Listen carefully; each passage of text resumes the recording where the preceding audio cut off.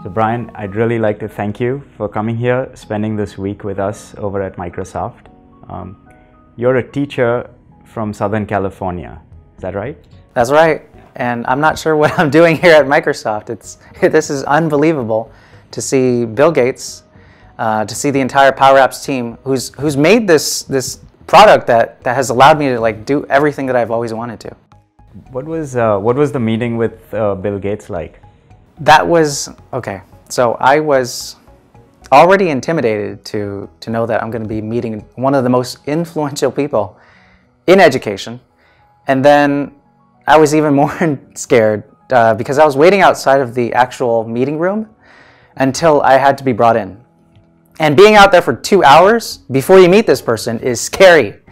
Um, someone had said afterwards, normally, if you meet Bill Gates, you listen to him, but he was there to listen to me. And that just, it, thank goodness no, nobody told me that ahead of time. That just would have skyrocketed my anxiety. And so with, uh, with Bill Gates, you demoed some of the solutions that you've built, is That's that right? That's right. Um, I showed him some of the educational apps that I'd made, and I wanted someone like him to see something like that because there are a lot of things that you know that are just missing from educational apps. So I wanted to be you know the one who could share that with the world, starting with like Bill Gates, right? That's a that's a big step. Uh, what are some of those solutions? So if you pick, yeah. especially, so I'd love to hear about like what's one of your favorite apps that you've built um, that you think has you know a bunch of value in the classroom? I like my spelling app a lot. From a content perspective, it, it has the spelling practice that we want students to have. And then it has the pretty stuff too, right? The, thing, the user experience that we like to build inside apps. So as teachers, we want students to, uh, to practice spelling in good ways. So in this case, you know, using the sounds, blending the sounds, identifying the sounds, finding the word, word patterns inside a word, instead of just testing a child on a word, saying the word and having them write it down, that doesn't necessarily show that they know that word. They might know it on the day of the test, they might know it um, for the five minutes before the test, but how do, you, how do you know that they know it later? So let's go back, if you go back a bit to the start of your journey, right? You got started with Power Apps when it was still in the preview days. What was the moment where you when you started playing with this technology that you felt like there really was um, more here and you wanted to dive in deeper? We have a, so we have a great community and uh, who, who's willing to share things. Um, what I found is someone had shared a calculator app and I still had to find this person to thank them because using a sample app, you can see all the different structures that people do, and you can see how they lay out the formulas, how they lay out the different objects in the screen. That was useful for me. And that's what got you started creating applications? That allowed me to create the app that I had been wanting to create on math. So it opened uh, a lot of doors for me. I mean, I've seen some of the work that you've done, which is just amazing, like, you know, getting animations to work in a low-code, no-code platform. Um, what would you say is your favorite app, your favorite solution that you've built? Uh, so there are a lot of things that you could do in Power Apps. You could use it as a no-code solution. You could, or you could take it all the way. So the, the, having that flexibility is great. My favorite animation of the ones that I've made is the one on parallax. Uh, it scrolls uh, different layers of a picture Kind of like Super Mario. It's a neat effect. And then now you've, so you've created apps, um, you've used these apps in your classroom. Some of the apps are being used by other teachers in the same school. Is that right? That's right. Yeah. So the most popular app that teachers like is one on banking.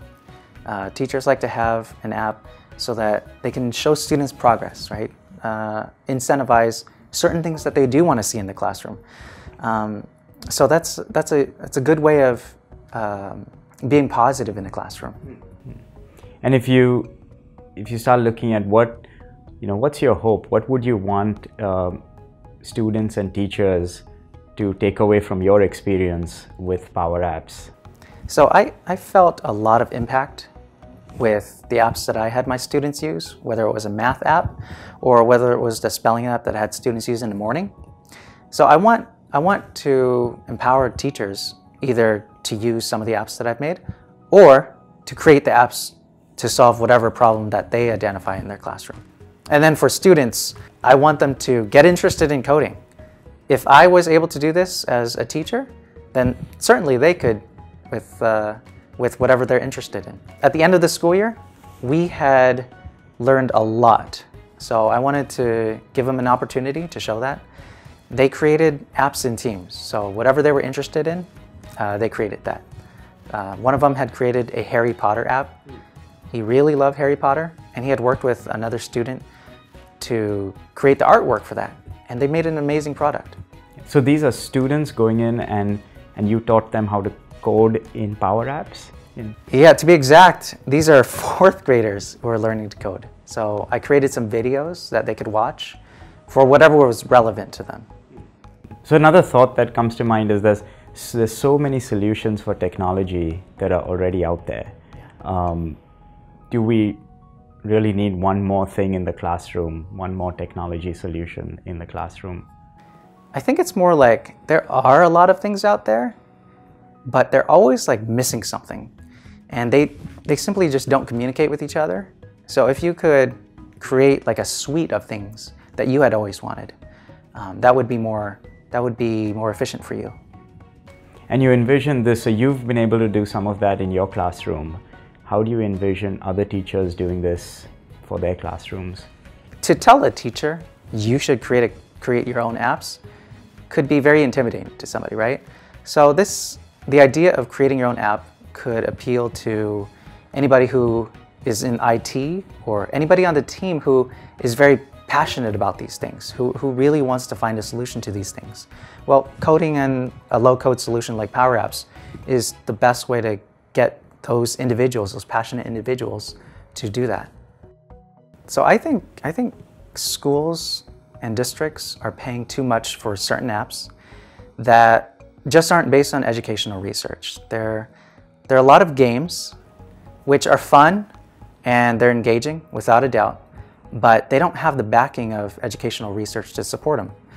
They're, they're going to benefit somebody, but we want apps that are proven with research to benefit everybody or the most of the population of the school, right?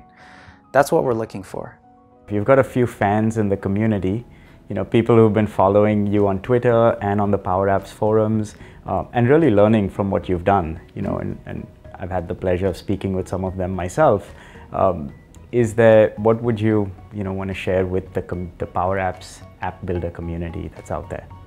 Like I have a journey of my own, but I love to hear what other people have gone through.